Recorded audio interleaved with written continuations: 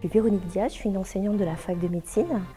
Euh, je m'occupe de l'enseignement de la physiologie et euh, plus précisément de la physiologie respiratoire.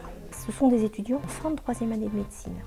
Pendant la deuxième et la troisième année de médecine, ils ont acquis l'ensemble des bases euh, de physiologie, d'anatomie qui vont être nécessaires à apprendre tout ce qu'il y a en pathologie. Et donc c'est le moment juste avant d'aller au contact des patients à l'hôpital qu'on a choisi pour leur apprendre ce, geste.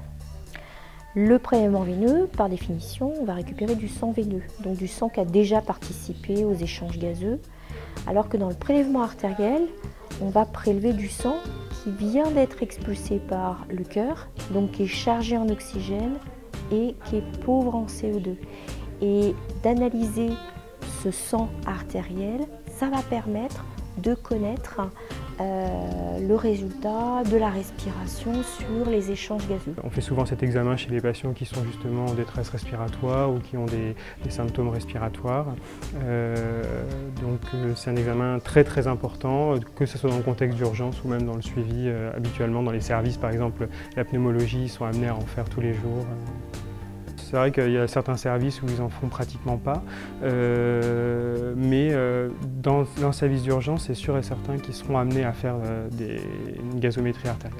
Bon, déjà, on vérifie qu'il n'y ait pas de contre-indication. La principale contre-indication, en fait, c'est les anomalies vasculaires, parce qu'on risque de faire des hématomes, des foies anévrismes, des choses comme ça. Il y a des complications liées à ce geste. Donc, pour vérifier que la main est bien vascularisée, on fait ce qu'on appelle la manœuvre d'Allen. C'est pour bien vérifier que la main, en fait, est perfusée via l'artère radiale mais aussi l'artère euh, ulnaire, parce qu'on perfuse souvent dans l'artère radiale, on pique dans l'artère radiale. Une fois qu'on a fait ça, donc, euh, bon, on s'installe, on prévient le patient, on désinfecte, c'est pas un geste qui se fait en stérile, euh, donc on, désinfecte simplement, on prévient le patient qu'on va piquer, et puis on pique dans l'artère radiale, donc on la sent à la palpation, et puis, et puis voilà, on, pique, et le sang va remonter dans la seringue, vu qu'il y a de la pression dans les artères.